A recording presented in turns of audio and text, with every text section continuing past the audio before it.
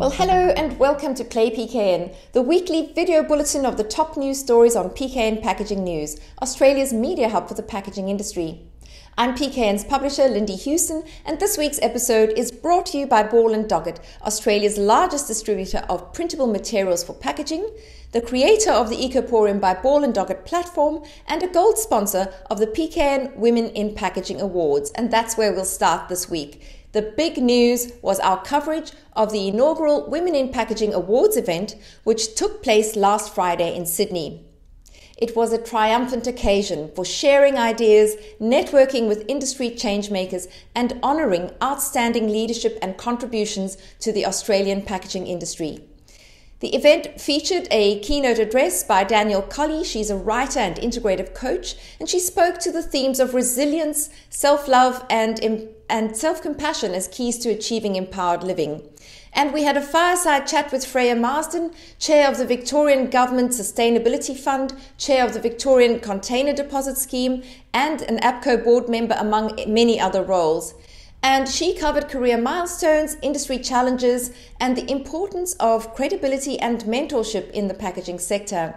The award winners were chosen from a group of high caliber finalists whose collective success marks positive steps forward for the packaging industry.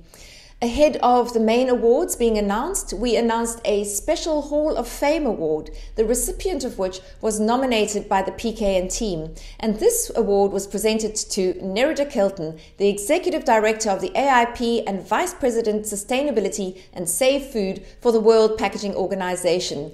Winners were as follows Jessica O'Donnell from Close the Loop Group won Communications Excellence category. Pippa Corey from Philo & Co. took out the Design and Branding Visionary Award. Joanne Howarth from Planet Protector Group was the Innovation Champion. Ellie King from Orora Group won Manufacturing Leader. Nayela Derham from Amcor Flexibles won Packaging Technology Leader. And Marissa Altmeyer from Pernod Ricard Winemakers took out the Sustainability Leader category. A huge and warm congratulations to all. Another big story this week relates to the recent announcement of a pathway forward for soft plastics collection from Australia's environment ministers, which has been welcomed by the Australian Food and Grocery Council.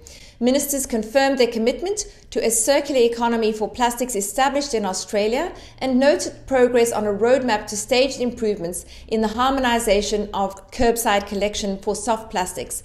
And this will um, be reported back on to the environment ministers by the end of 2024.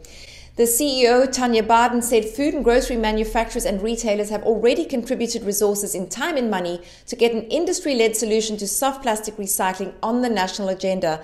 And the AFGC looks forward to continued collaboration to find a clear and consistent solution to packaging through upcoming consultation. Next up, Pact Group Chair Raphael Geminder has spoken out on plastics recycling in this market, commenting on how the sector could sink or swim with the incoming packaging laws being implemented. He said that to take Australia's plastics recycling industry to the next level, we need a shift in thinking across government, industry, and society so that discarded plastic packaging is treated as a valuable resource as opposed to being treated as waste. He said that he wholeheartedly supports the intent of the planned laws when it comes to plastic, but there are concerns in the local recycling sector about potential unintended consequences if the laws and design standards do not adequately incentivize the use of Australian made made recycled content products. It makes worthwhile reading. You'll find it on the sustainability section in our website. Then, Australia's table grape industry is about to undergo a major transformation with the introduction of a plug and play traceability solution designed to enhance exports to Southeast Asian markets. The Australian Table Grape Association has received funding through the federal government's National Agriculture Traceability Grants Program dedicated to fostering robust traceability practices in Australian agriculture. Result Group, which was the company that launched the initial pilot in 2022, is now creating a comprehensive traceability solution for the entire table grape industry. The new plug and play solution will be available to all growers, regardless of their business size or traceability requirements, and it will streamline compliance and operational processes digitally through existing platforms. A few other news snippets before we go. The barcode is turning 50 this month, and a scanniversary is being marked by the Barcode Authority GS1 Australia. BioPak has introduced the new Leaf Nature series in collaboration with Rainforest Rescue. The updated design for the iconic Leaf Bio Cup, originally launched in 2006, was revealed ahead of World Rainforest Day, which took place on the 22nd of June, and it includes three new leaf designs. And then the AIP will be running a panel at the upcoming National Food Waste Summit, which will focus on safe food packaging. The panel will be moderated by Executive Director Nerida Kelton. The summit runs from the 24th to the 25th of July at the MCEC in Melbourne. This session will be on the 25th of July at 2:15 p.m. at the main stage. PKN will be there to cover it.